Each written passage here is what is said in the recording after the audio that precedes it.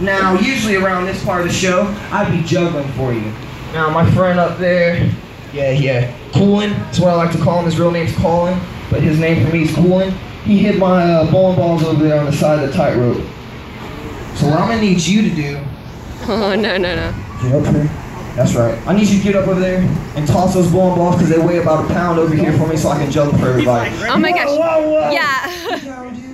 Down, dude. He'll do it. These guys from St. Louis, they're crazy. You gotta get down, buddy. That was just a test of bravery. You're already ahead of me, grabbing the grabbers, getting up here. I didn't even finish talking. No, no, no. This is a gator show, right? So what are we missing? Alligator. Yeah. Let's go catch this guy. Whoa, dude, you're crazy. No, you are. We already got a gator caught for you, man. I wasn't even gonna get in there.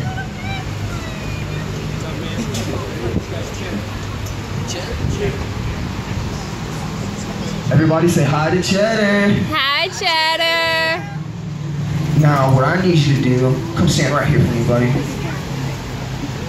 Usually around this part of the show, I'll be counting out this guy's teeth for everybody. So that's what I need you for, okay?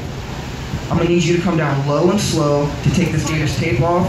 He's gonna open his mouth real wide, and we're gonna show all these people how many teeth this gator has, okay?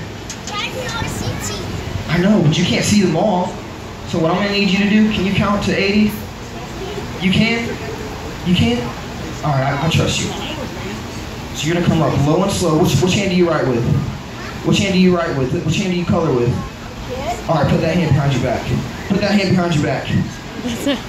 We're gonna come low and slow with that hand, okay? About half sweet. Come on.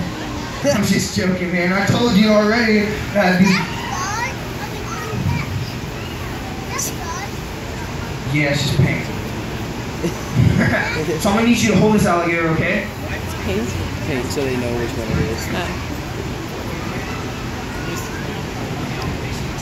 is.